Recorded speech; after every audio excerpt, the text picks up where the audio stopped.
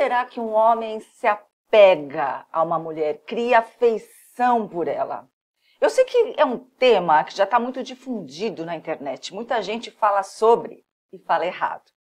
Porque quando a gente pensa em afeição, em apego, a gente tem uma tendência a ser muito simplista no pensamento. A gente vai logo para a questão sexual.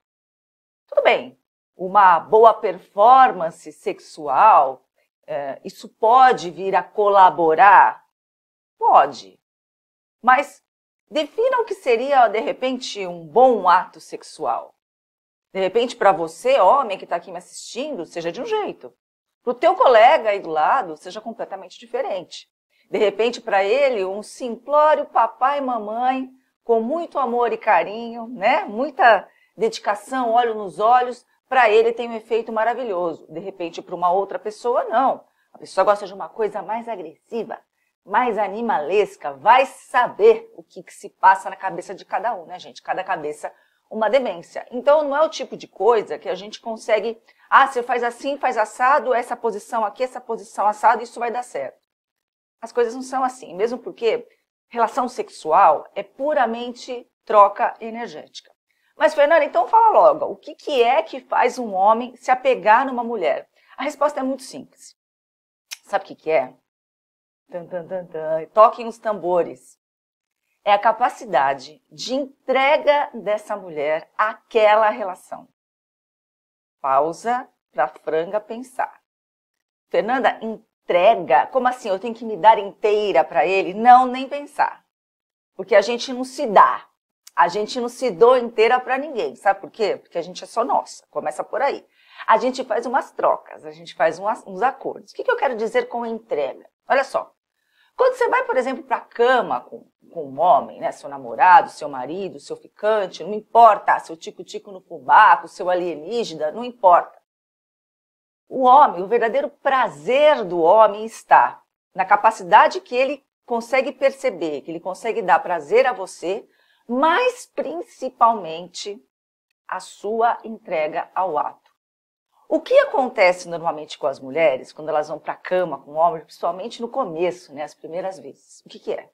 Ela precisa conferir o cabelo, se está com frizz, o bafo, se a periquita está cheirosinha, ela vai para o banheiro e passa o.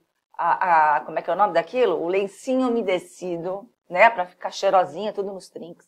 A depilação, a performance, ela checa no espelho na hora do ato se ela está num ângulo bom, se a celulite está aparecendo, se a luz de repente está muito clara que vai aparecer aquela estria, aonde está a entrega? No meio disso tudo, de tanta preocupação, onde está a entrega? E ela fica preocupada, será que ele está gostando? Ela está preocupada com o prazer dela? Mas, Fernanda, não seria um ato muito egoísta eu pensar no meu prazer? Pois é, minha cara prima, cara prima, o homem, na hora do ato sexual, ele costuma ser dadivoso. Veja só, eu estou falando daquele homem que está interessado em você e não aquele homem que só quer um buraco para suprir as próprias necessidades. Isso tem uma grande diferença. O homem que não está nem aí para você, ele quer se satisfazer. Mais nada. Ele não está preocupado se você está gostando ou não. Se você... Ele não está preocupado, é preocupado com ele, entendeu? Esse tipo de homem é uma coisa que a gente tem que excluir completamente. Eu estou falando daquele homem que está interessado em você que está gostando, que está curtindo de estar com você. Ele, na verdade, assim, o prazer dele está no prazer que ele enxerga que você está tendo. É na entrega, na tua entrega, na, nesse momento. Quanto mais você se entrega para ele, você está curtindo aquele momento, mais ele se apega a você. Não é a sua performance, não é o seu corpo, não é isso. Por quê? Porque na hora que você está tendo essa entrega, você está com a energia lá em cima. Aquilo é uma delícia. A, a, a sensação no ambiente se modifica completamente. É essa grande diferença. E que a mulher até hoje não conseguiu simplesmente assimilar. Ela continua perdida na lingerie, porque a performance, porque isso, porque aquilo, ela não está curtindo. E pior, muitas vezes a mulher vai para a cama com um homem muito rápido, e eu vou tomar muito cuidado com o que eu estou falando agora, e aí ela começa a se justificar para esse homem depois do ato depois do balacobaco. Ela começa, não, porque eu nunca fiz isso, porque eu não sou assim, porque eu demoro mais tempo, eu não sei o que acontece. Ela fica se explicando para ele. É a maior merda. Por quê? Porque o cara fala, pô, então ela não estava curtindo, ela não gostou, ela. Sabe? Fica uma, uma situação meio hipócrita. Essa é a palavra, uma situação hipócrita. Não, eu fiz porque eu quis fazer, adorei, senti muito prazer, foi uma entrega maravilhosa, foi um momento que nunca mais vai voltar na vida. E não vai, né? Cada ato sexual é diferente. Um dia que você transou com teu marido é diferente do outro dia. Com o seu namorado, com o seu ficante, não importa. É sempre diferente, nunca igual. Então, aquele momento que você viveu com aquela pessoa, aquele lapso de tempo, só existiu ali. Então, eu acho que a gente tem que aproveitar ao máximo. E olha, eu não estou falando isso aleatoriamente. Estou falando isso com propriedade de campo de quem pesquisou milhares de homens. Não que eu saí dando para eles, não é isso, gente. Mas isso é fruto de pesquisa mesmo. Eles sempre falam isso, é entrega. Quando a mulher se entrega, quando a mulher está ali, ela está curtindo, ela não está fingindo, ela está curtindo, ela não está se importando.